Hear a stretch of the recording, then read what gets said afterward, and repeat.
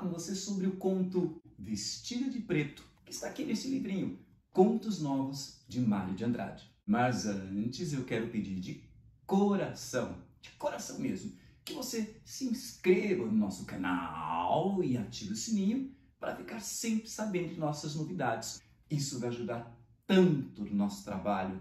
Não custa nada, mas vale muito. Além disso, se você quiser saber das características gerais deste livro, consulte aqui esse vídeo. Enfim, Vestido de Preto é um conto memorialista, ou seja, narrado em primeira pessoa. Aqui, no caso, é o Juca quem conta essa história. Aqui ele vai nos falar sobre o primeiro amor de sua vida. Meu primeiro amor. Ele faz questão de diferenciar de um outro amor que ele tinha tido antes, que era o amor por si mesmo. Ele diz que vai contar em outro momento. Gente, Mário Andrade faz umas coisas surpreendentes aqui. Ele acabou de fazer uma referência aqui a um outro conto do livro, que é O Tempo da Camisolinha. Já leu? Ah, então leia, tá? E depois acompanhe a análise deste conto aqui no nosso canal. Então acontece aqui uma referência intratextual e até também metalinguística. Intratextual, porque é uma referência que o livro faz para dentro, intra dele mesmo, o texto dentro do texto.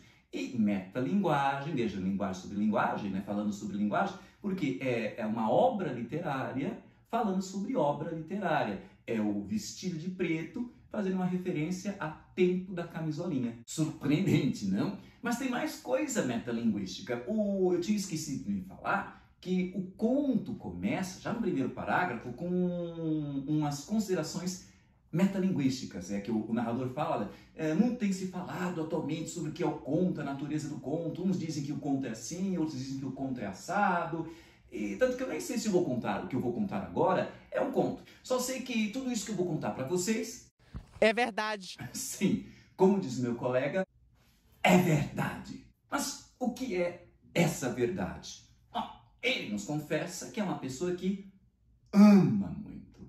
Mas sabe o que é engraçado? Me lembrei agora. Essa metalinguagem, ela nos faz lembrar uma outra metalinguagem super interessante dentro desse mesmo conto. É quando o narrador, o Juca, nos declara que aprendeu inglês por causa de um livro. Aí ele vai comparar com um autor chamado Mário de Andrade, que aprendeu alemão por causa também de um livro que ele estava lendo. Ai, que loucura! Exato, querida. Ai, que loucura! Ai, que loucura! Mário de Andrade é o autor do conto Vestido de Preto.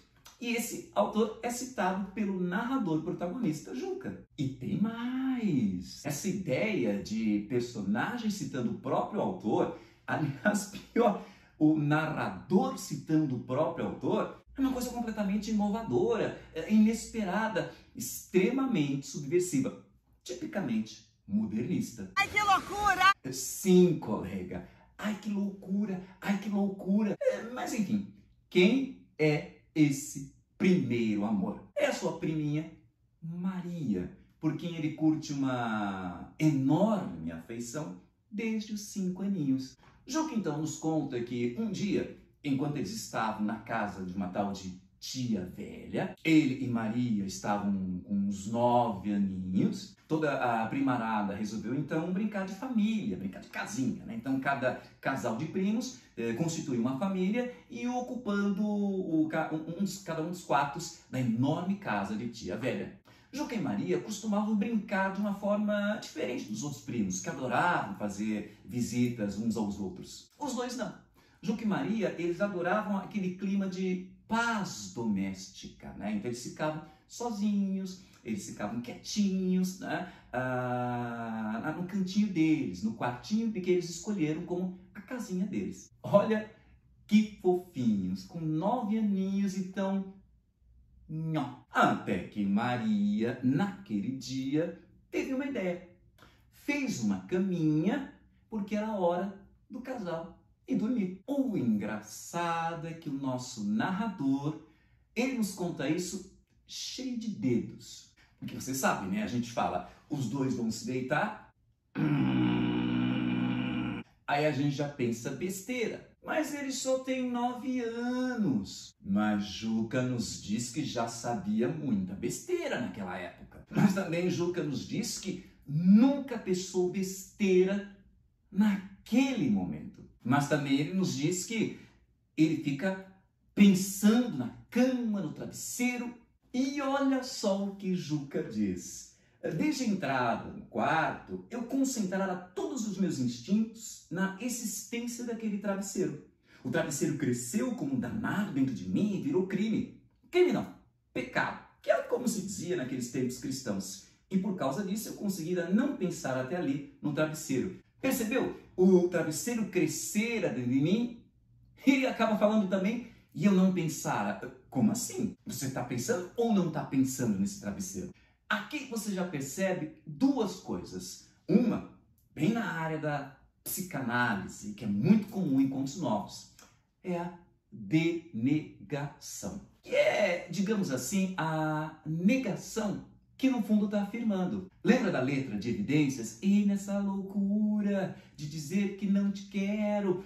Percebe? Esse esforço de dizer não te quero, no fundo está querendo dizer te quero. Então a denegação seria mais ou menos isso, uma negação que, por ser tão enfática, na verdade está escondendo uma afirmação. Então, as várias vezes que o Juca fica falando, não estava pensando besteira, não estava pensando besteira, não estava pensando besteira, nos fazem desconfiar que ele estava sim pensando besteira. E essas negações são tentativas de ele enganar os outros ou até a si mesmo. Mentir pra si mesmo é sempre a pior mentira. Exato. Quanta sabedoria do Legião Urbana. Mentir para si mesmo é sempre a pior mentira. E a psicanálise nos mostra como a nossa mente é complexa e até complicada mesmo. O outro ponto a se destacar aqui é a questão cristã, que já começa pelo nome da menina, Maria, que é um nome que lembra o ideal perfeito de mulher. Mas veja o que acontece aqui. Uma, você vai ter uma mistura do psicanalítico com o cristão. Juca, após hesitar um pouco, finalmente se deita. Maria de costas para ele. E ele fica encantado com a vasta cabeleira dela cobrindo o travesseiro. E então ele vai mergulhando, mergulhando, mergulhando o rosto naquele universo de cabelo. E eu, que sou uma pessoa imunda, uma pessoa que não presta, uma pessoa indecente que só pensa besteira. Ah, sei lá, né? Porque veja bem, ele mergulha, quer dizer, ele penetra toda aquela cabeleira e, e ele fica com medo, né, de espirrar diante de tanto cabelo que ele tem diante do rosto dele. Pss, espirrar. Pior! Ele fica com medo que, se espirrasse, os outros lá fora poderiam ouvir. Ai, professor, nada a ver. Tá bom, paremos por aqui. Juca se aprofunda mais e mais pela cabeleira da Maria, até que ele chega ao pescoço da menina.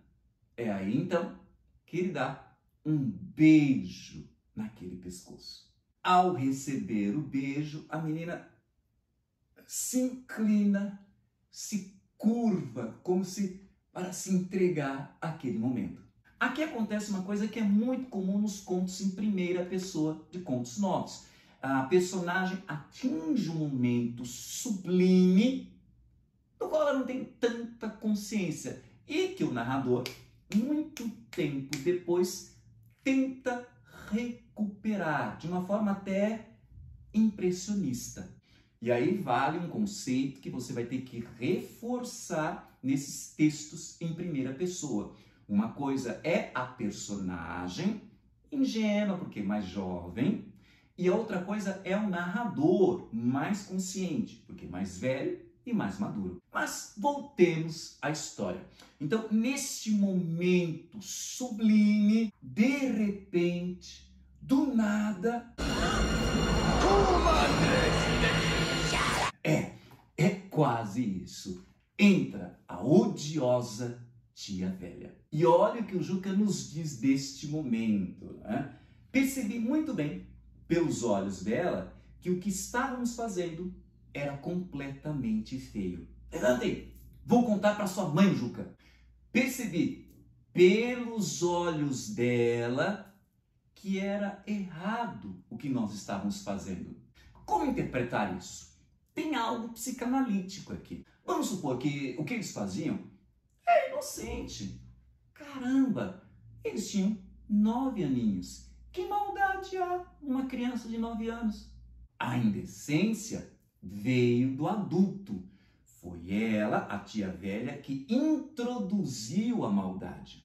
Tia velha, então, representa os valores sociais, os valores do adulto agora sendo introduzidos nessas crianças uh, uh, e reprimindo essa busca de prazeres. E veja, tia velha manda os dois se levantarem, saírem dali e ameaça ainda contar tudo para a mãe do Juca.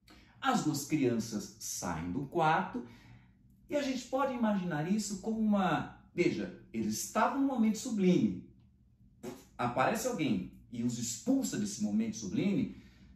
Isso parece mais um mito cristão, que é a expulsão do paraíso. Perdemos a glória, a maravilha, o caráter sublime do paraíso, fomos expulsos deste lugar maravilhoso e agora somos jogados ao mundo de dor, de decepção. E veja como Mário de Andrade mistura psicanálise com cristianismo. Repito, é uma expulsão do paraíso, porque Juca e Maria nunca mais serão felizes. Naquele mesmo dia, talvez para disfarçar o flagrante, a Maria passa a tratar o Juca com indiferença. E assim será por anos. Juca, então, o expulso do paraíso, o decaído, passa a assumir na família o papel do doido, do perdido. Título maldito, mas que ele gosta, porque para ele tem um lado positivo. Porque ser doido é não ser padrãozinho, como o resto da família. E vamos falar sério, muitas vezes, dependendo da família, ser diferente é até melhor. Tão desencaminhado esse menino se torna que ele acaba virando o especialista em bombar matéria na escola. Bombar e ficar de segunda época. Segunda época quer dizer recuperação. Tá, ele só não bombava em duas matérias, nas quais ele tirava excelentes notas: desenho e redação.